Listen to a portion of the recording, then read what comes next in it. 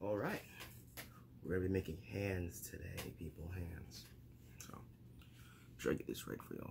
So you wanna take this piece and you wanna make it like a miniature, tiny little circle. And twist the top around. Get little something like that going. And you wanna kinda make like a big loop from it. You wanna get the, you know, the main middle finger out there finish that one because then, then the rest ones are easy. Because if you get the length on that one, you know the next fingers come up next should be a breeze. So next you got your index finger.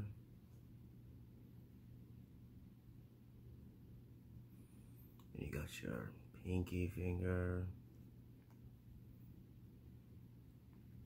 And you probably want to use two pipe cleaners. I usually use two because my hands I always make are kind of a little big.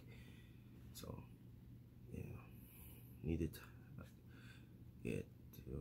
And you want to kind of put them together like an X, connect them, and then you twist that as much as you can until you don't feel like you can twist it anymore. And then you want to make that one into the ring finger.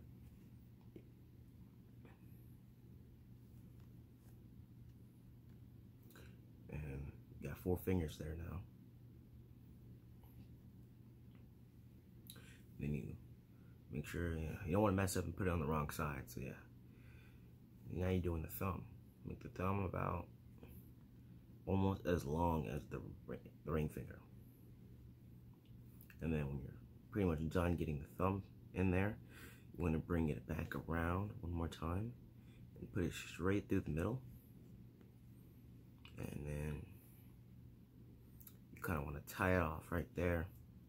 And um, you can focus on it, there's your hand right there. do any poses you want with it. It's fully movable. Anything you really feel like doing.